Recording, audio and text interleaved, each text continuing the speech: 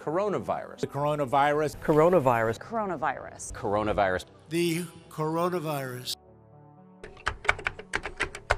Panic. How do we deal with the things we cannot control? From big box warehouses to neighborhood drugstores, Americans are preparing for a pandemic.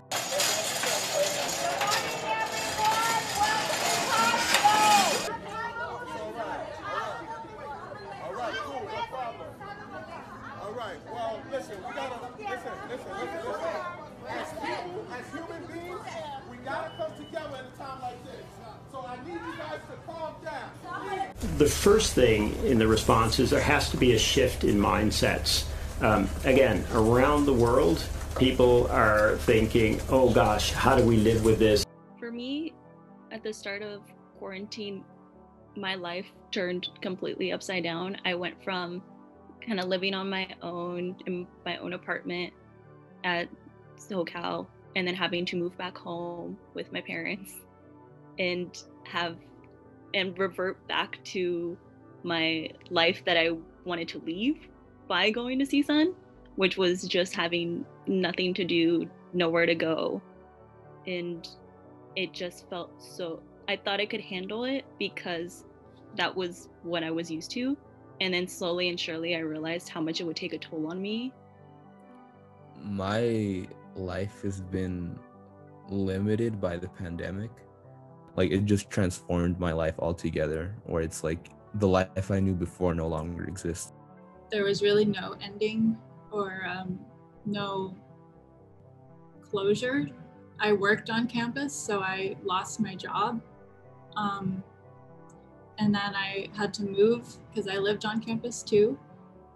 I mean, I'm like coping, but I'm like not coping. I'm like coping as far as like I'm making do with what I have, but I'm not coping as like I get way less sleep. Um, my anxiety is a little bit worse than it used to be. Um, just thinking about the future and thinking about um, how things are going to be changing from here on out. So, coronavirus is a massive story.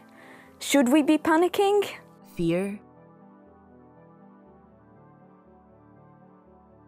Is this preparation or paranoia?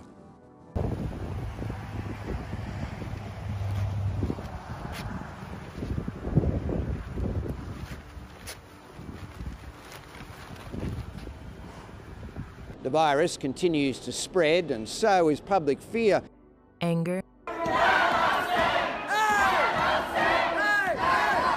You literally cannot mandate somebody to wear a mask knowing that that mask is killing people. You're not God, and since masks are harmful, where there is risk, there should be choice. You're removing our freedoms and stomping on our cons- constitutional rights by these communist dictatorship orders or laws you want to mandate. How did they come up with this number of six feet? I think they just pulled it out of their rear ends. Denial. Because of all we've done, the risk to the American people remains very low. It's one person coming in from China. This cycle that we're doing is not stopping anything. It's not preventing the spread. Locking down doesn't work. Healthy people aren't dying. We're just getting over it like the flu. Do you see this like the flu? I see it like the flu. That's exactly what it is. It's a different type of flu.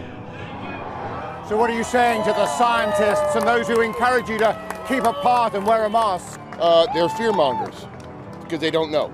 At times, it can feel like the end of the world, with little hope that we can survive and get to the other side. Except, we have survived. This isn't something new. Some might call it deja vu. Because, in a sense, we've seen this all before. The Spanish flu of 1918. Scientists still don't know where the Spanish flu originated. Roughly around May, April, May 1918, when, you know, the carnage of the First World War is, is graphic and horrendous. But at the same time, this, this unknown enemy is starting to sweep through the US, Europe, the trenches, and it is recorded by the Spanish press, uh, and it becomes dubbed as the Spanish flu. Where the first known case was reported at Fort Riley, Kansas. on March 11, 1918. Some believe that infected soldiers spread the disease to other military camps across the country, then brought it overseas. The death toll attributed to the Spanish flu is often estimated at 20 to 50 million victims. The exact number is unknown due to the lack of medical record keeping in many places. And by summer of 1919, the flu came to an end. Those that were infected either died or developed an immunity. But rest assured, COVID versus the Spanish flu. History repeats itself. We've seen it time and time again. COVID 19 has disrupted American life on an unthinkable scale, just like another pandemic a century ago. If you were flung back in time 100 years, uh, I think you'd be very surprised at the similarities. The Spanish flu took a heavy human toll and was detrimental to the economy. With COVID 19, the same is happening now. As Minnesota Historical Society Research Director Bill Convery points out, local governments in Minnesota banned gatherings in the fall of 1918 and launched urgent public health campaigns. Avoiding contact with other people, maintaining social distancing, all of these were uh, recommendations. During the Spanish flu, some communities were forced by officials to quarantine. Citizens were required to wear masks.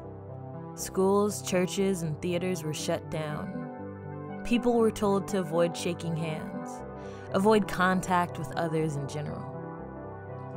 And although most people wore masks because they were told to, some didn't. And out of this came the anti maskers. In Minnesota, they also strongly recommended gauze masks. The Red Cross handed them out, and many wore them, including workers at the World War I draft board. But masks weren't required here. At the time, there wasn't a uh, across the board recommendation from on high for what should happen. While researching Minnesota's flu pandemic response for the Department of Health almost 15 years ago, Miles Ott found a patchwork of rules. The head of the Minnesota Health Board, for example, didn't even wear a mask himself, saying, quote, I prefer to take my chances. All of this may sound familiar because the same thing is happening now.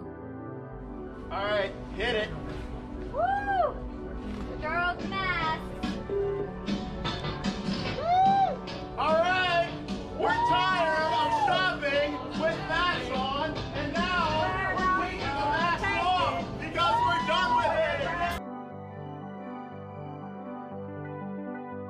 it. My name is Butch, and I'm an American patriot. See that flag? I would die for that flag. The Constitution that you are supposed to uphold, I would die for that. Politics may be getting in the way of safety.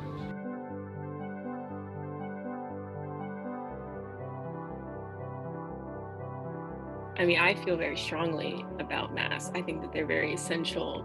I think that they're necessary in order to slow this thing down. Not really any skin off your back to wear a mask. Um, and if you don't wear a mask, I think you're irresponsible or ignorant or both. And it's really that simple to me. If someone's not wearing a mask, I just give them a wide berth and let them let them have their space. I say, give them give them all the space they need. I think masks are necessary. Like we have scientists who devote their whole careers to tr- like for the betterment of people and to try and keep us safe.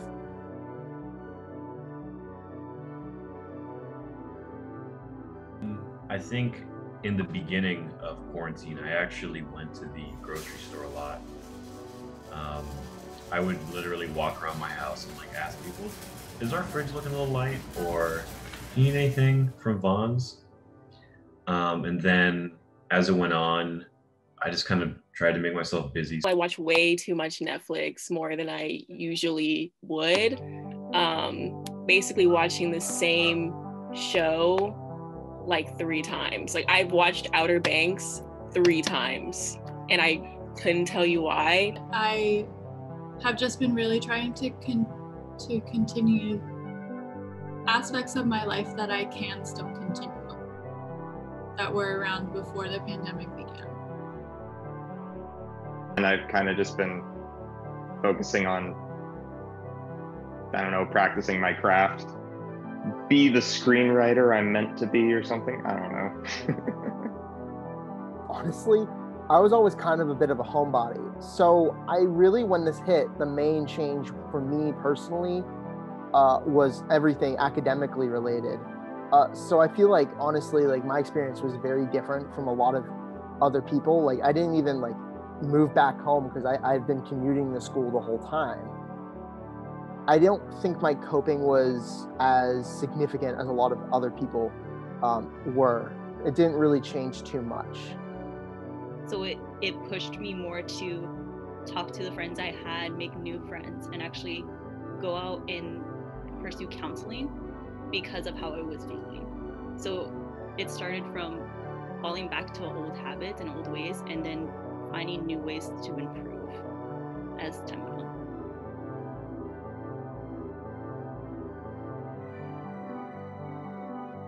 Uh, what I miss the most is like having a, a schedule. I know before quarantine it was day by day. I kind of had I had my rituals, I had all my traditions. I would get in my car, turn on a podcast, I would speed. Um, but now that's all gone, and and I, I'm trying to find new traditions and rituals.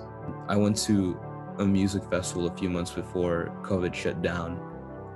And I didn't realize that would be like one of the last like good memories I'd have before all of this. So you don't know the value of sweaty stoners throwing you around in a pit until it's ripped away from you very blatantly. So I really miss concerts. That's one of the things I miss the most.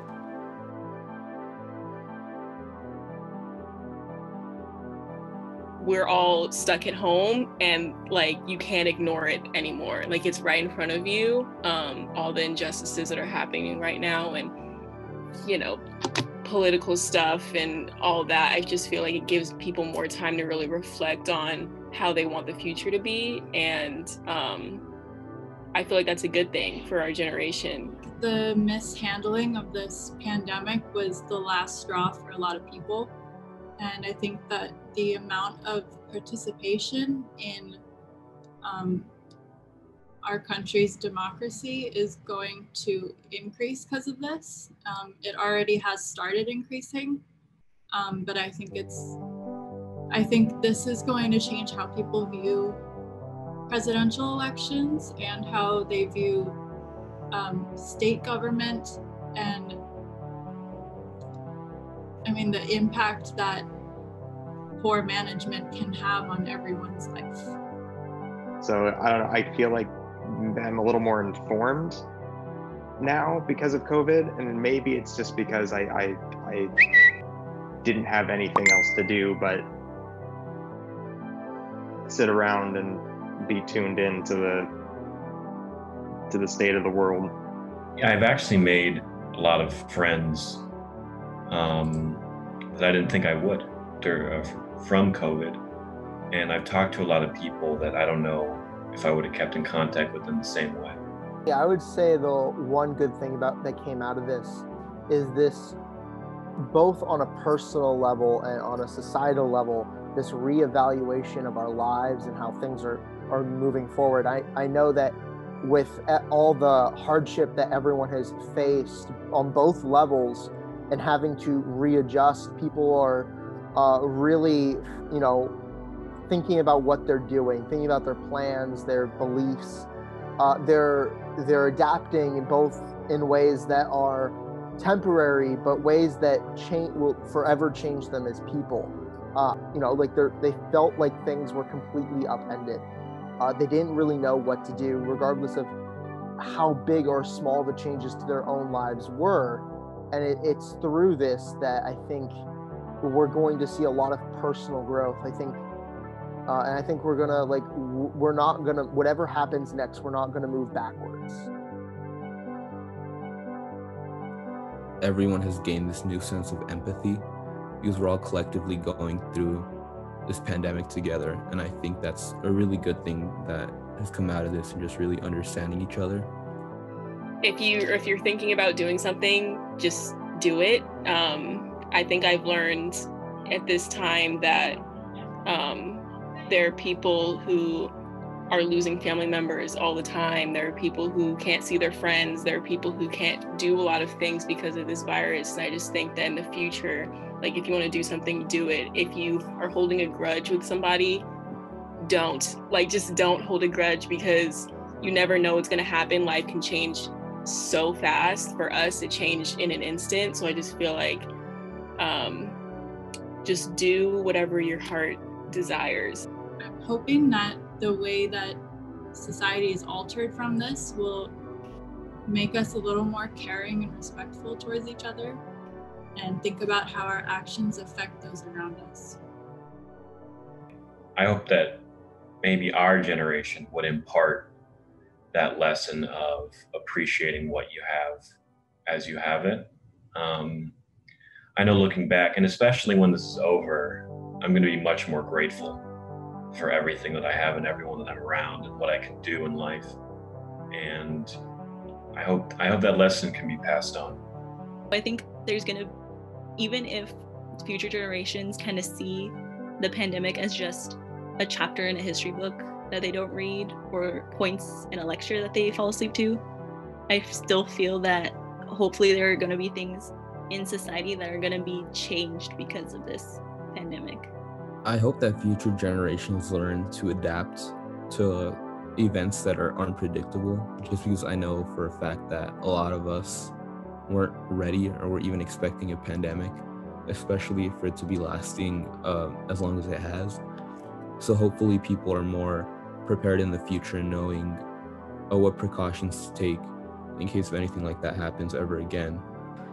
I think people taking all of these new precautions and knowing how to uh, prepare for the future is like the most important thing right now. And I think that having this uh, happen right now is is something that has kind of shooken people to their core. And I hope that people really learn to take care of themselves and others from it.